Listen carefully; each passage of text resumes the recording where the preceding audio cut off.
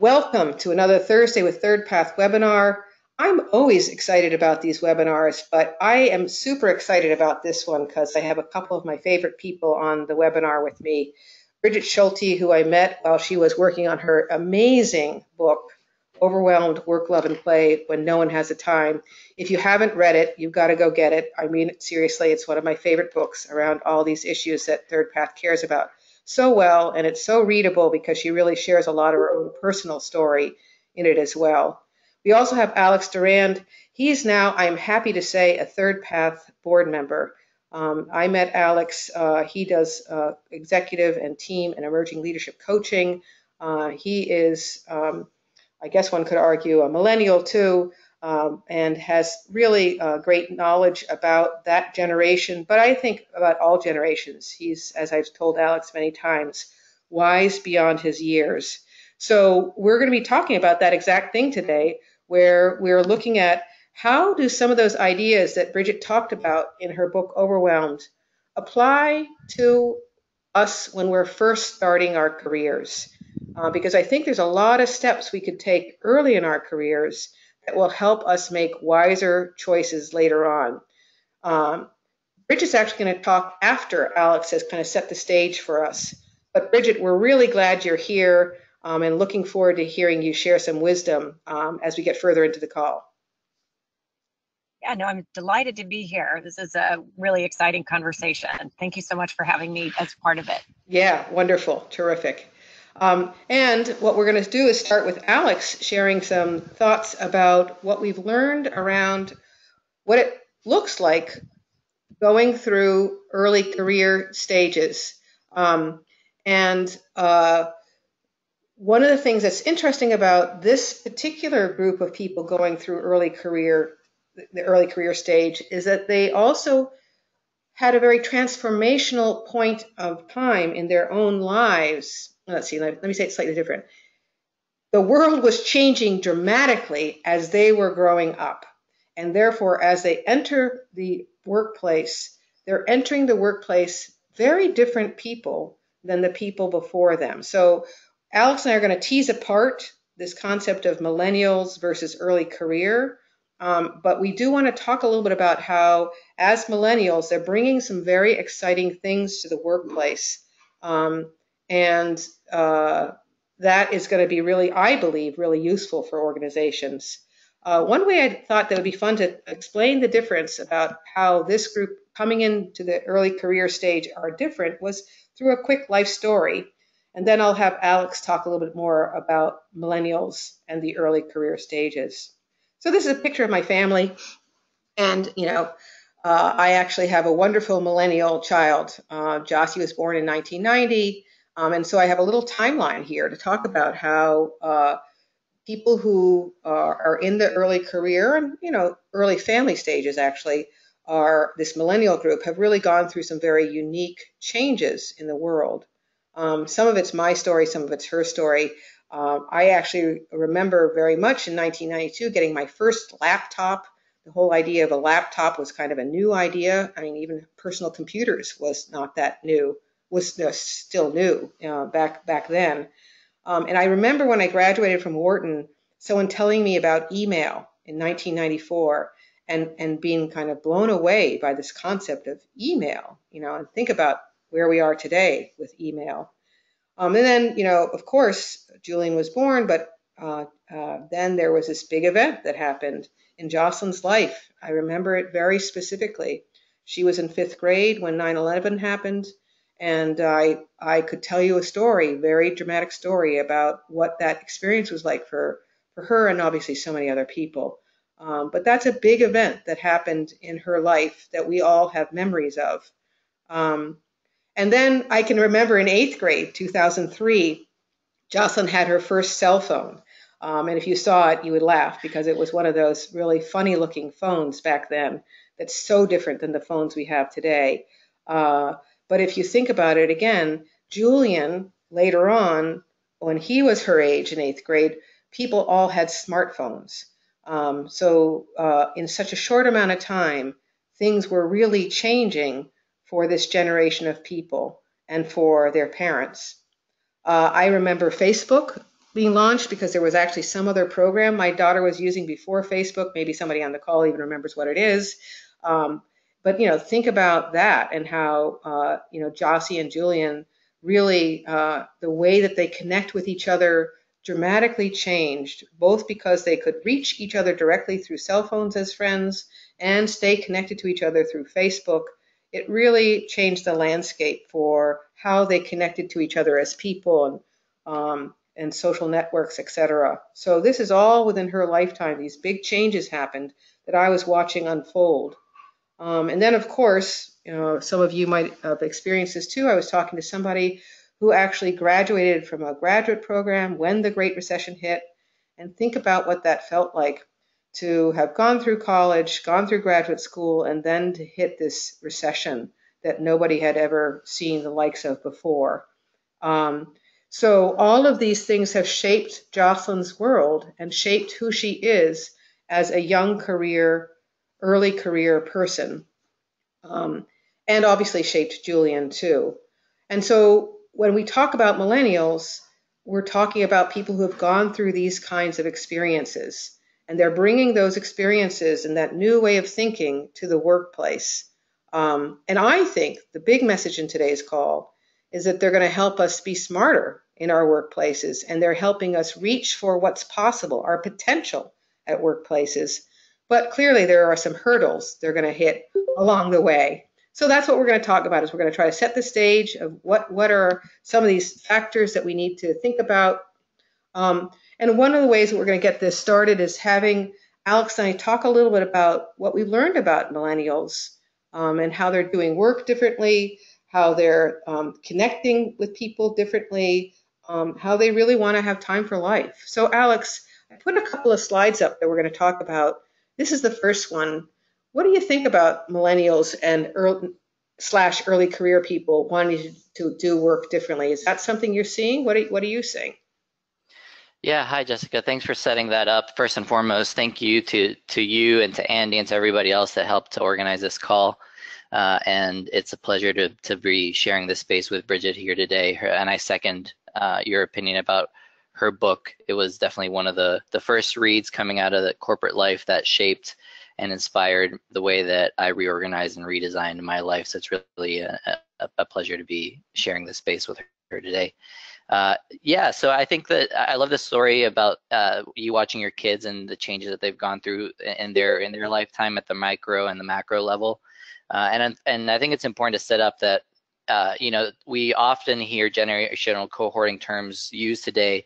Uh, specifically, when we use millennials, it's typically used to refer to people born uh, around between 1980 and the early 2000s. The range tends to change a little bit, but that's that's really kind of where that plays out. Um, millennials are, are in the history of generational cohorting. They're the fourth, uh, you know, people, sociologists and anthropologists started to look at, uh, at cohorts of, of generations post uh, Great Depression after the 1920s to see how major macroeconomic effects impact the population. And so then you had the boomers and Gen X. Uh, and so here we are talking about millennials who are now mostly entering the work uh, the workspace, and some who are older are actually entering their their mid career.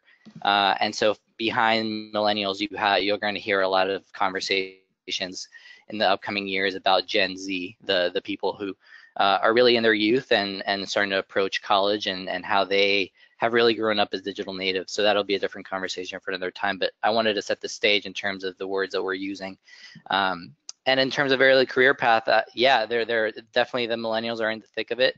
Uh, people coming out of high school or out of college and, and getting thrown into the workforce.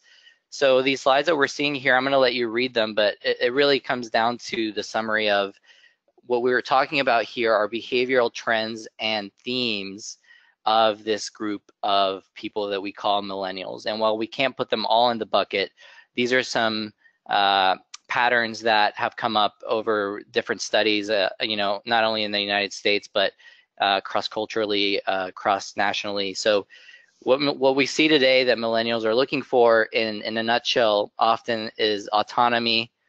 They are often seeking challenging work.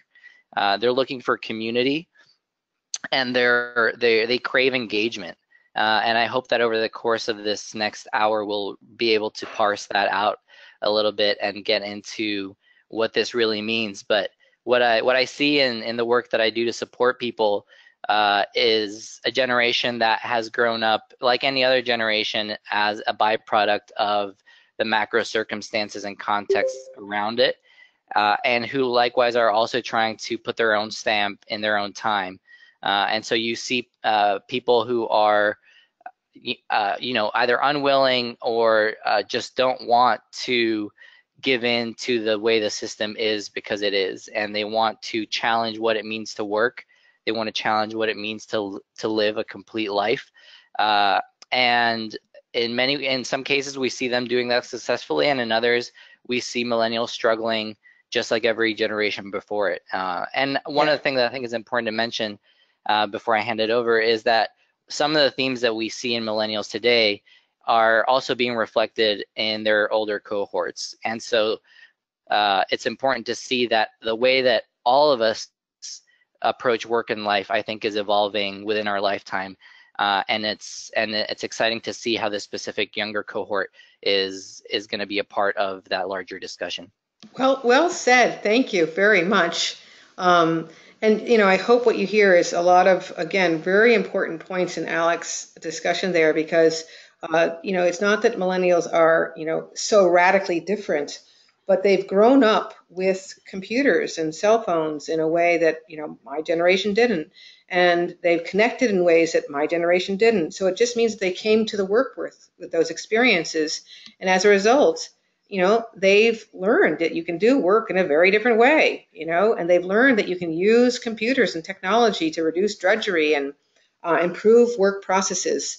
And I've seen that myself, uh, both with my kids and the wisdom that they've brought to the different tasks that they've been involved with, and with some of my um, employees who are in a younger generation.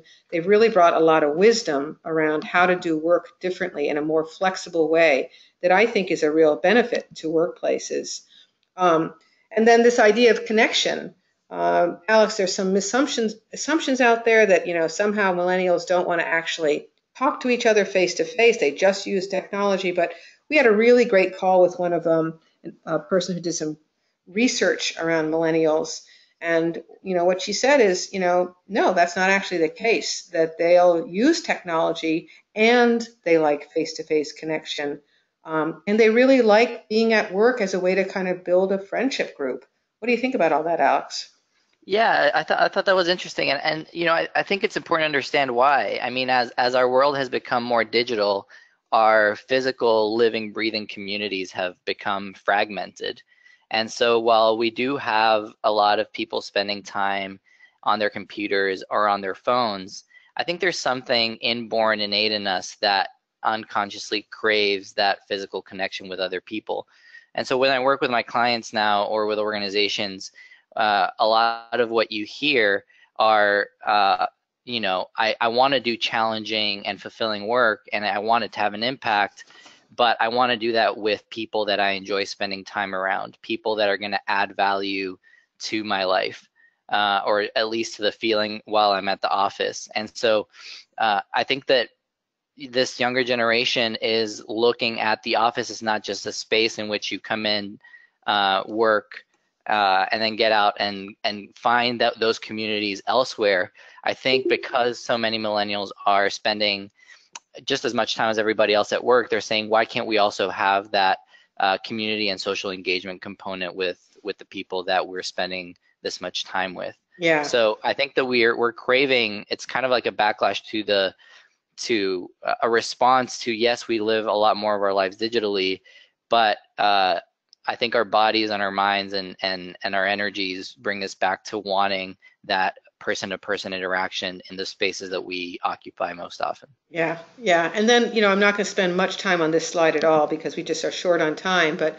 One of the things we really learned now we've been, you know, following these integrated people over the course of their lives, and we really learned that, you know, making some decisions around how to kind of build strong relationships and connect to people in a thoughtful way um, actually helps develop some really important skills around setting boundaries at work in a thoughtful way that really work for you and work for the organization. So the millennials' desire to kind of build connection is really connected to some of what we're seeing in our integrators leaders' ability to kind of set up reasonable expectations for teams to accomplish so that we can all live whole lives, which of course is something we've heard a lot about the millennials, is that they want to have time for work and life. Yay! We believe in that too. Um, is that what you're seeing in some of the millennials that you work with? And and and it, and are you have you learned what's made that challenging, or some things that they've learned uh, that makes that more possible? What are you seeing around millennials wanting to live whole lives? I think this is where the millennial case gets interesting because ideologically, the majority of millennials do want this integrated, holistic way of living in which they want it all, like many of us do, right? They, they want to be able to do impactful and engaging work, and they also want to have enriching lives. But what you see behaviorally with millennials, even still today, is that they're repeating patterns of previous generations in the office space themselves. In other words, a lot of the clients that I work with, whether they're coming from a startup culture or whether they're looking at tenured organizations, they still get caught up in the cultures that they go to work for. And so even though they want these ideologies to uh, to come to fruition for them, they still struggle to find a way to of creating that integrated life because the cultures above them are still changing at perhaps a, a, different pace than they are and they have bosses they have you know the organizations are are have been built culturally for for years now and so what i see them is they are struggling to create the boundaries necessary uh, to find the role models and to find the advocates who are going to help uh, par- carve a little bit of the way in front of them so that it becomes easier for them to live this this integrated life. So what I'm seeing right now is a lot of people who want this and still just as many who are having a tough time figuring out how to do it. Yeah, yeah. Amen to that. Um, and that's why we're having this webinar today. Um, actually, it's why we're having the theme all year long because, you know, uh, one of the other things that Alex is, is he's part of our integrated life advocate community. Um, so they are career counselors, couples counselors, work life coaches, or interested professionals who want to help make a case for people to follow an integrated path if that's what they're looking for.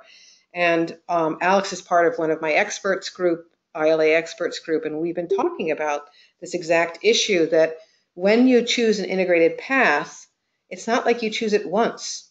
You have to choose it over and over again. If that's what you're looking for and you want to have a life where you have time for work and time for whatever else it is, family, etc., um, you you have to keep on thinking about this and making a commitment to it over time.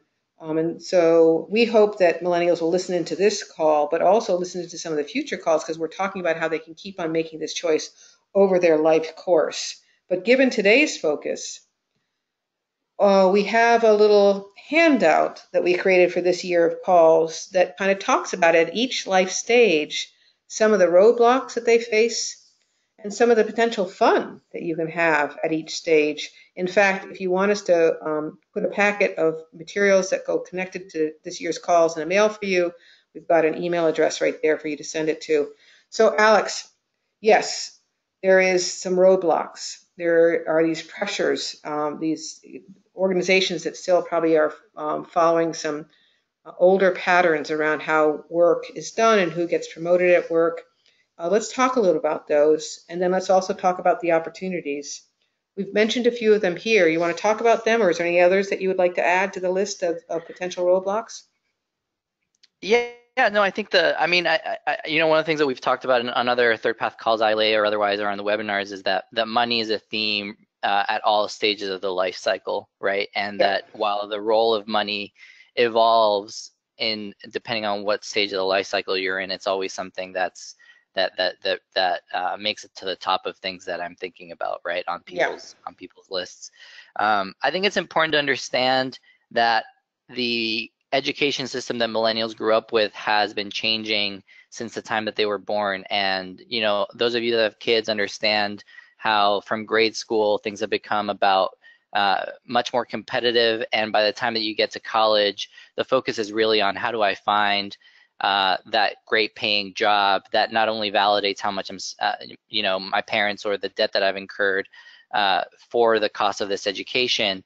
Um, and that sort of sets the tone for a whole group of millennials who are uh, either un unemployed or underemployed, uh, as well as another part of millennials who are employed uh, and have maybe found that high paying job but almost all of them at the end of the day have asked themselves like now what? What was that all for? So one of the things uh, a lot of the, the conversations that i have with this age group has to be around how do i make meaning out of the people who have invested in me the decisions that i've made early on in my life and how do i honor that while also making the difficult decision of perhaps going in a different way uh, than I originally thought I was I was going to go in.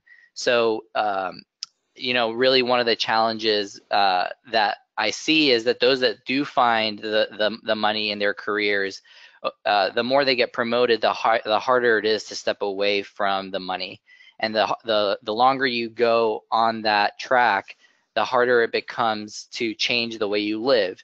To the point where most people wait until they have partners and start having a family, and then it's like I can't make a change because I have other people depending on me now. So one of the challenges is really reaching this audience early enough to get them to think about these opportunities, hopefully like we're doing here, and to start to build behaviors that are proactive rather than reactive so that we we have to as people thinking about this we have to find the points at which that kind of conversation would be most effective and in terms of opportunities i think the exciting thing is we have people that are speaking the language that third path and that those of us here on this call most likely share uh, we don't have to to teach them to speak a different language. They want what, what what they want to speak the same language, and they do. And so it's really about providing them role models. It's about providing them support, and it's about the opportunities of growing our community so that it becomes easier for the people coming behind us to create a different way to work and live. Wow. Oh, I knew you were going to say all the right things. That's so great. I, I heard uh, making a life of meaning. So, really stopping and thinking what's important to you, even if that's different than what seems to be the norm around you. Um, I heard you zero in on, you know, money and, and making wise choices. Actually, we have a great uh, story up on our website about a woman who worked at a very big law firm after uh, graduating from law school so that she could sock away the high salary and then leave that law firm and find the preferred law firm that she wanted to to stay with for the long run. Um, so there's some wise choices we can make around money. Um, and we're certainly going to be talking towards the end of the call about, you know, how to combat this one. Um, you know, how to find some role models, how to push back at that ideal worker norm, and to understand that, yeah, it might look like only families are the one who are flexing, but even for families, flex is hard.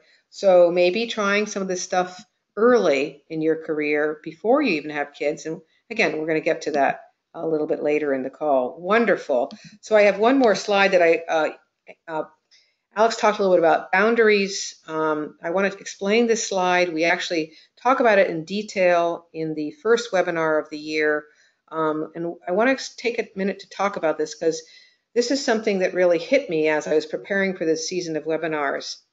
You see a bunch of batteries purposely, and you see some that have a black line around them. Those are the ones we believe are people who have really been able to think in a more integrated way and say, hey, I could work all the time, anywhere, but I have other things I want to get to. And so, what I am trying to show in this picture is that all of us are swimming in blue, meaning work could take over our lives. But the ones who've gotten smarter about boundary setting have gotten smarter at saying, how much work do I want to do? So I have time for family, whether that's your, you know, extended family, your own kids, your grandparents, your friends' as family. Um, but most importantly, they have time to recharge. If you notice, very purposely, uh, a lot of the batteries that don't have boundaries around them don't have much recharge time because that's what's happened in our world. That was the unexpected consequence of a world where we, we can work more flexibly is that work is following us into the evenings, the weekends, on vacation. And so, what we're trying to say today is learning to set that thoughtful boundary where it's good for you and good for your organization. And learning to do that early in your career will help you all the way through your career. There might be something you want to add to this picture. Um, I'm going to put up one more thing before I get your thoughts, Alex, because you'll see it's connected to where we're going. But what we're trying to say, and what Alex said, is that it's, it's this ongoing cycle. Um, and there are forces at work that can make it hard for us to, to kind of put up those boundaries, but we can kind of get smarter around those forces um, if we go ahead and try some experiments, meet some right people, etc. What are your thoughts about this, Alex? None required, but if you want to add one or two, I'd love to hear them. Yeah, no, I, nothing, nothing in particular, because I want to, I want to get to hear Brigid's thoughts on all this too, and and I think it's important that we teach our early career folks about the importance of taking the vacation days that they do get, about finding ways to recharge themselves uh, beyond vacation and, and in their daily lives, about the role of uh, of eating of, of eating well and exercise and and all those things in a holistic way so that they use their life as an experiment to figure out what works for them um, and to do mini recharges as, uh, alongside um, you know more more intense and, and more necessary um, uh, recharges or sabbaticals as, as their careers go on. Yeah, wonderful, wonderful. Yeah, I, I got to tell you, um, just the simple act of learning how to take a vacation where you can really plan ahead and then turn off work for that vacation you're doing and then come back to work and, and not feel overwhelmed right away. That simple act of learning how to do that teaches it so many incredibly important um, integration skills. So, yay for that recharge time and vacation time. As Alex mentioned, we did want to get to talking with Brigid. Um, she, as we, as you heard, wrote a, a great book. Um, it really talks about her life as a parent um, and trying to understand why she felt overwhelmed. But as this quote explains, uh, through the amazing research that she did and storytelling that she included, she learns that this isn't just a mommy issue um, nor even just a parent issue. This is an everybody issue. This is about really a whole society uh, reclaiming how to live a healthier life. So, Brigid, you know, I know it's an impossible question, but how would you say, what are some insights you had from your book that you want to make sure get talked about? Take a few minutes, you know, if you can, in three, four, five, talk us a little bit about your book. It's a, it's an amazing book. Well, first of all, thank you very much to, uh, for for all the kind words. Uh, you know, both you and Alex, uh, and you know, uh, you, Jessica, as you know, there's a whole chapter that I dedicate to the, to your work in Third Path, and you were really instrumental in helping me think through a lot of this, uh, both in terms of the big picture and then also in terms of my life.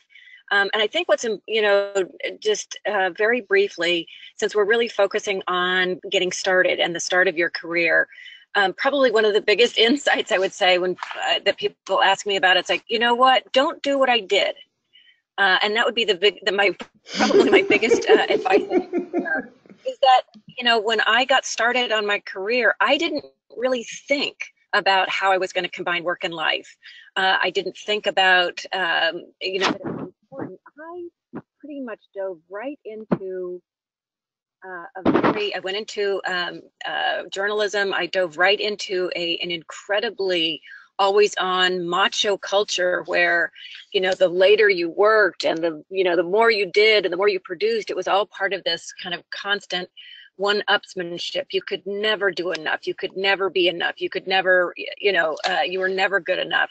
What you took vacation, you wimp, you know, what's wrong with you?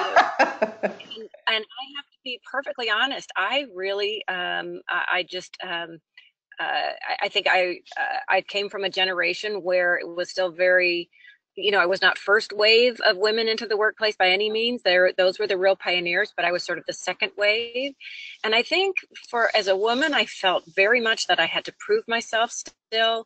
You had to be twice as good, work three times as hard. And so I really took that to heart. And I didn't want to be seen as a slacker or that I needed any special accommodations. And so I worked all out all the time and then, uh, you know, to be perfectly honest, I really put off having children because I was terrified. I could not see how I could do it. I didn't see how uh, how we could make the time for it. Just my husband and I. Um, and I have to be perfectly honest, he had much better habits than I did. He's never worked as much as I. He still doesn't work as much as I do. uh, he used to make me really angry, but I think that some of that is he's much better at setting boundaries, and he didn't come into the workplace with that same kind of baggage that I had about trying to prove myself. Because let's face it, I mean, all of the research shows that when you are externally motivated and you're trying to prove yourself first of all, nobody's really watching. Hmm. Everybody else is really busy and you can never do enough you know that that extrinsic motivation will just keep you running on the treadmill mm-hmm. and it mm-hmm. took me really writing this book to realize that i had to find intrinsic motivation i had to figure out for myself what worked and i guess my one of the biggest things that i would say to people just starting out is really take the time to think about what do you, what do you want your life to look like? How do you want to combine work and life? How do you want to combine caregiving, uh, whether that is if you decide to have children or if you have other family members you want to take care of, or you want to take care of yourself? All of those are really important uh, caregiving roles. How do you want to make space for that? Um, and I and everything that that Alex was saying, I would just echo. I think that there's a, a couple different narratives going on when we talk about millennials or the young generation coming into the workforce. And one is that they're these slackers and they just want to have work life balance and what's wrong with them and why don't they work all out like we did? And I do hear that from, uh, you know, I'm more the tail end of the baby boom. I hear that from colleagues of mine. It's at this level. Um, and I have millennials on my staff, and I have to say, I'm learning from them. There is nothing in the literature or the research that shows that when you work all out, you actually do better work. In fact, that was one of the big disco- big discoveries for me as somebody who had sort of drank the Kool-Aid, is that actually leads to worse work. It leads to burnout. It leads to tunneling. It leads to being unable to see the bigger picture or being creative or innovative. And so, what I would say to people just starting out is to really make the case to employers uh, that when you have you set uh, really great priorities that are really focused uh, and tied to the mission of your work uh, and you really make that case over and over again how your performance is great. Uh, you know then you know change the conversation away from look at me i stayed here so late aren't i great? and much more about like look at what i just did and look at the impact that it had. So even reframe the conversations that you're having at work particularly with managers who who let's face it most of the managers are baby boomers. And one very important point to point out for and for, for both men and women is that um, about you know 78 to 80 percent of millennials are in dual income couples or partnerships and less than half of baby boomers are um, more, you know, more than half of the baby boomers are still in the more traditional breadwinner homemaker families. And if you have a boss who has somebody else at home sort of taking care of everything, they're not going to get the fact that you don't. And so it's really, really important that you make clear what your priorities are, uh, both to yourself and to your partner, uh, but then also communicate that at work, but through the lens of how great you're doing with the time that you do have. Yeah. And so the last things that I would just mention is we do have ideal worker norms that are still very powerful at work, and millennials are getting caught up in that. So there's the sort of the slacker mentality or the sort of slacker um, uh, stereotype, which is just not true at all. Because if you look at time diary data and all other research, just as Alex said, once millennials are getting into many of these corporate cultures, they're getting sucked in as well, and they are working really hard. Uh, and just to that point, I've been doing work. I'm now at the Better Life Lab at New America. I've sort of taken the book uh, experience and now really want to work on solutions. Uh, and so I direct this program where we're really looking at how do you redesign work. And we're doing some work with behavioral science. Uh, and so one really fascinating thing that we found was that in one work culture where there were a lot of millennials and people work it were working themselves into the ground and then you had baby boomer bosses worried about these young people burning out hmm. and what they were discovering that a lot of young people they are so passionate and this is a really idealistic generation and you you know they want not only meaning out of their lives, but they want to do important, meaningful work, which I think is fantastic. But what they were finding is that people were saying moving to another city. They didn't have like family or friends or kind of hobbies or infrastructure that would pull you out of work. And so they kept working more and more hours. And then because they were working more and more hours, they didn't have the time time to develop those networks of friendships, yeah. the time to develop hobbies or find a gym to work on. And so it became this self perpetuating cycle. So I think that just like Alex is saying, and Jessica, as you've always said, really, really important not to not to buy into narratives or stereotypes, but really look at your own life and what you want, and recognize that there are these ideal worker norms that are very powerful in work cultures. Recognize that at home the ideal mother and the idea that you the you know that you're only a good mother if you spend all of your time with your children. And by the way if you work you should feel feel really badly about it which is crazy because the majority of mothers work in this country. Um, and then we also buy into this notion that if we're busy it's really you know that that's how we show our status and so to really live an integrated life you have to be very intentional, take a deep breath and recognize that you are pushing against the status quo in all three of the great realms of life work, love, and play. And to do that, you have to have constant communication with yourself, with your partner, to uh, you know and and really find a network of peers that can help support you in living that kind of uh, integrated life at work and at home and recognize that it's a journey yeah, well said. Really well said. Uh, thank you for again sharing uh, so many good thoughts. And you know what you're seeing is a slide that kind of gives you some quick highlights of some of the ideas that she's talking about.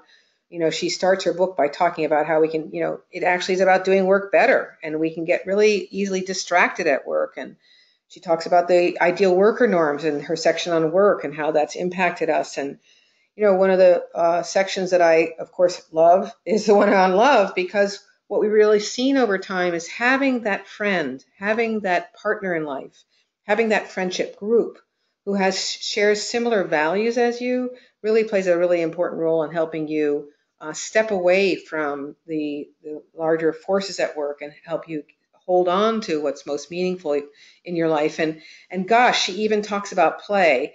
I mean, that's uh, something that we can really encourage early career people to do is to make sure that they have some time for play. And what I see is again, like Alex said, they're already talking our language. They're already thinking about this. So if you don't get caught up in that external culture, it looks like that early career generation, that millennial generation, is really very excited about finding things to do that are fun, um, not just working all the time. So the big message, and then we're going to get to a, more of a conversational style, is that it's not just once, but over the life course that you're going to have to keep on making choices around um, following an integrated path, if that's the path you want to follow.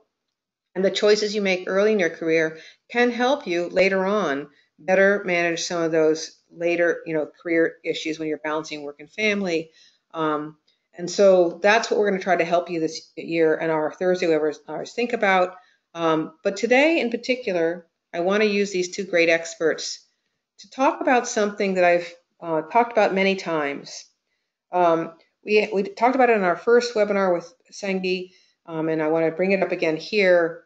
It's the idea that you can um, use the gap between what you want in life and what your current reality is to actually get smarter and think in a new way about what you want. It can feel hard. You can literally get like a headache as you think about, oh my gosh, I really wanted X, but my current reality looks like Y. But what Senge talks about is that actually getting smarter and smarter about what your vision is and more, smarter and more realistic about what the current reality is, you will, your brain will actually develop ideas about how to bridge that gap without lowering your vision so that's where I want to go next is, okay, so here are these new kind of workers who've come into the workplace. They're in their early career stage, facing some of the typical challenges of early career people. How do we help them not lower their goals? How do we help them experiment and think in new ways about what's possible? So, the gap. The things on the left are the things that are, are kind of constraining them, early career people. The things on the right are the opportunities that they could try out and try to make some changes. We've heard about some of them already. You know, get clear about what's important to you. Try to be proactive. Find a friendship group. Um, that's where I want to go next. Is think a little bit about how can we support millennials to take some experiments, some chances at this stage of their lives that helps them get more set up for the next stage of their life. Alex, you've been doing some listening, as we heard from Brigid. What do you think would be? You've mentioned some of them, but what are some things we would encourage, want to, want to support an early career person to do um, that would really help them uh, not lower their goals, but address the gap of some of the challenges they're facing? Um, tell us some, some of the wisdom you have around this. Yeah, um, I mean, there's there's a lot, and I think I want to echo what, what Brigid said about uh, it. Really comes down to what the individual wants out of their life and wants for their system, and so we live in this culture now where faster is better, and counterintuitively, the place uh, the place to start is really slowing down and uh, encouraging people who want a, a, more integrated life to create small spaces in their life, whether it be five minutes once a week, you know, uh, their commute, to really just reflect on the important questions of, you know, talking, we can use this gap here of like, okay, what do I want my life to look like? Where am I now? and what needs to change for me to get a little bit closer to that vision that I have. So it really comes just the first the first step for me is really about finding space to slow down. And it sounds easy, but it's actually really hard to do well because what most of us do is we daydream for microseconds at a time throughout the whole day and we get interrupted in our reflections by emails, by meetings, by text messages, by social media, by responsibilities at home. And so what happens is all those reflections we're trying to do get fragmented into this kind of like meaningless jumbo, and then we don't get any real traction on our reflections. So the first step to me is really encouraging people to just do something that doesn't require any money, but that requires a little bit of planning on their part to say, okay, where in my week can I slow down to think about this gap and what's a baby step that I can do to start experimenting with some changes. Wow, what wisdom. Thank you. It's something that we've really learned at ThirdPath, and I personally practice in my life. Um, that what wisdom. I actually, uh, I've talked about this on other Thursday webinars. I actually routinely take time every week to stop. And I have a friend where we exchange time and we just listen to each other for 10 minutes. And I, I think it's exactly what Alex is talking about. It's a chance for me to gather up all that, you know, different thoughts I've had over the course of the week about, you know, am I going in the direction I want and what course corrections can I do? Um, so slowing down in a world that believes in going faster and faster is actually a really important next step uh, that, that if you're a millennial listening in, you can do. In fact, Alex is helping experiment with us uh, running an early career call uh, where we're uh, sharing some of these ideas with um, groups of early career people so they can kind of learn from each other. And if you want to learn more about that, you know, make sure you get in touch with ThirdPath because we could get you in touch with Alex around that too. Um, I'm putting up one more slide before before I hear what Brigid wants to add. Add is, you know, she made a good recommendation. You know, don't do what I do. um, but yeah, I mean, I think she also was really good at saying, hey, I I was in a different world back then. It's still a hard world today. Um, but women did, you know, Brigid, you really had to probably do twice as much work to prove yourself. Um, and I think that, that that was a different world. But here you are in this world that still does have an ideal worker, you early career people. And what I wanted uh, to put up before Brigid talks is, you know, to, that sometimes as you try to explore that gap, you're going to have a lot of feelings too. Um, one of the ones that I felt a lot is hopelessness where I felt like, wow, man, I'm still struggling with this issue. This is so crazy that I'm still struggling with this issue. And I guess what I wanted to uh, normalize is that as we're encouraging millennials, encouraging early career people to reach for their goals, not lower their goals, that probably some feelings are going to surface too. Brigid, does that ring any bells? And I know you've talked a little bit about this in your book too. Um, what about the, the feelings that surface and any thoughts about that or any other advice you'd give to early career people on how to hold on to their goals?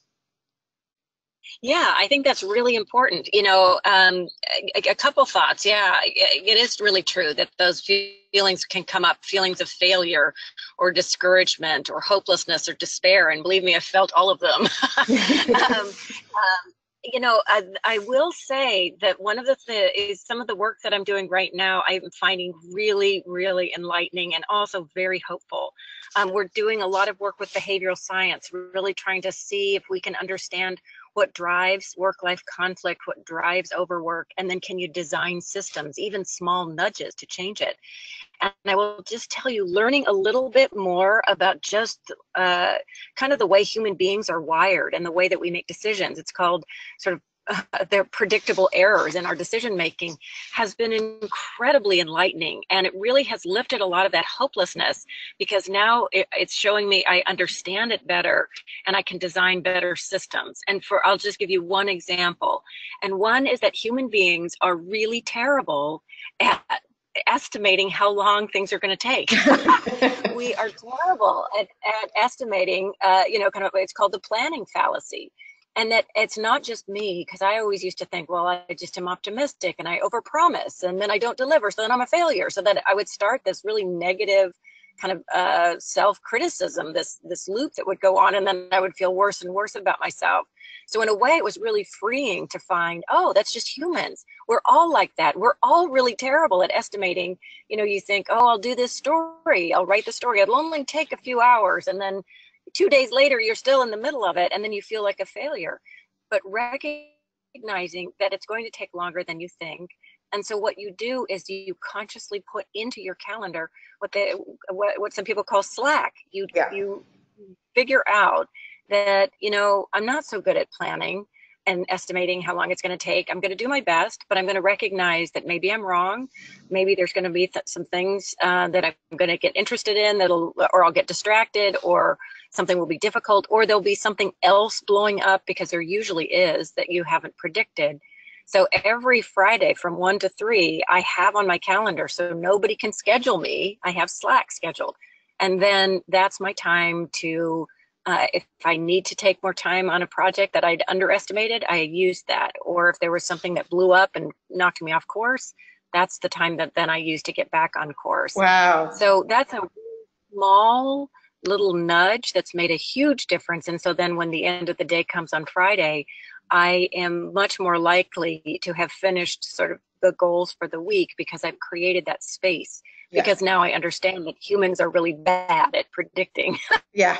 yeah. And that's taken a lot of that despair away. So yeah. learning skills has been yeah. really helpful. Yeah, that's that's a great example. Um, and it's funny. Uh, I'll give a, a quick personal example. Uh, yesterday was a day where I knew this was a week where I didn't have much slack, and the day was not going the way I wanted to do. But you know, one of the things that we've really been hopefully teaching people is that there's going to be days like that too, and it doesn't mean you failed completely. It just means you failed that day. And so it's like being nicer to ourselves about you know that we're not going to get it right every time, uh, but we are going to learn some really important skills, and Slack is a really great one.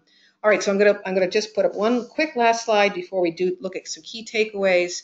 Um, I hope what you've heard is that there's some things you can do today um, to try and experiment uh, with, you know, finding this more integrated approach if you're interested in it. Um, and that I, you know, I really want to emphasize that you can, you know, test it out uh, starting now. You know, you don't have to wait. Um, you, you, know, uh, interestingly, one of my board members who works for a large law firm taught a course early in his career um, before he had kids as a way to have this other thing he was committed to and learning how to do work and this course he was teaching. Um, I also happened to went I went to a four day work week before I had kids. Um, I felt like I wanted to learn how to do that, and I wanted to have more time to do other interests. Um, so you know, you can go ahead and do an experiment, maybe just to even over the summer. Uh, try try out a four day work week over the summer. Find some role models. Find some friends and a partner who share the same values as you. Um, these are things that you can really start doing today uh, as you try to launch into a more integrated approach. So unfortunately, we're getting close to the end of our call. I'm going to give everybody a chance to say a, a, a last takeaway. First, Alex, then Brigid, about kind of some thoughts from today's conversation about encouraging early career people who want to live, a live an integrated life, how they can hold on to that goal, take some steps today that will help them be set up well for the future as they continue that integrated approach. So, Alex, any last takeaways that you would want to add to the conversation? And then, of course, I'll have Brigid share a takeaway, and we will have time for question and answers at the end. Alex, any last takeaways?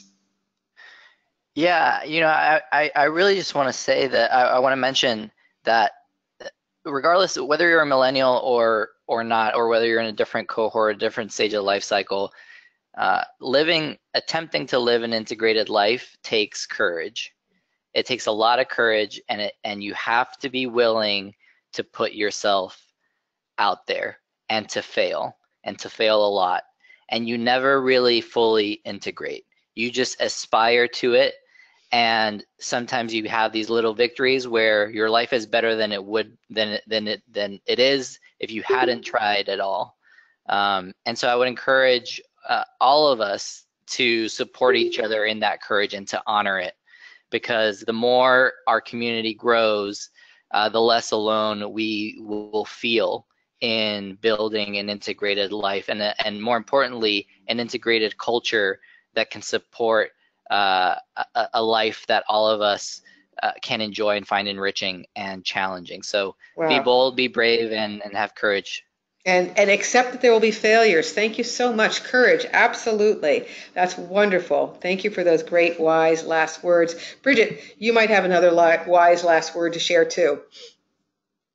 I'm not, I'm not sure how wise, but um, I guess I, you know, I think a lot about time you know, since that I was writing about time pressure and I still, you know, that's a lot of what I look into.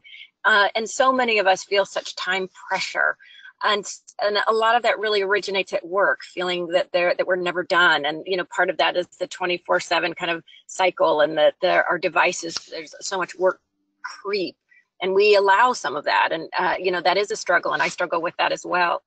And I think probably the, the big thing, and it's, it's really something that I continue need to work on is really think about how we value different kinds of time. And that right now, most of the society really values work time. You know, it's tied to money and success and prestige. But the more that we make space for other kinds of time, the kinds of time that makes you know, sort of makes life worth living. You know, we all do need and want meaningful work, but that is not our only identity. And when you make space for you as a person, for you as a friend, for you as a family member, when you make space for the things that are just that give you joy and make you feel uh, amazing to be alive, you know, to to have the space to just even notice the changing leaves or uh, you know on the trees and how beautiful that is the more we we create space for that and the more we sort of practice making space for that the more we're going to see how that adds so much meaning and value to our lives and the better we'll get at it. Sometimes when we start out it's hard to imagine but that's because we don't have a lot of experience with it. And so the more we create even little cracks if you will uh, and allow those to to grow um, you know we really can change the way we think about time. And that work does have its place in time but it is not all the time and all, uh, not the only the only thing that's valuable. Wow. Yes Thank you. Uh, I, we, our, our recent newsletter, Take Time to Stop and Smell the Pine Trees, um, because I've really grown to appreciate uh, taking hikes. I'm now an empty nester, so I have a little bit more time on my hand, and instead of letting work take over my life, I've been working hard to say, what else do I want to create time for? And uh, Jeff and I have discovered that hiking is an incredibly powerful way to recharge. The quietness out in the woods, smelling the different smells and the sunlight. It's just amazing. So, yay. Um, wonderful. I knew this was going to be a great call. Um, I did uh, put up a slide here there. If you are interested in learning more about our early career group, uh, we want to hear from you. Um, and we're so glad you are here today listening in to this wonderful discussion. I am going to stop the recording in a second and see if people have questions for either Brigid or Alex.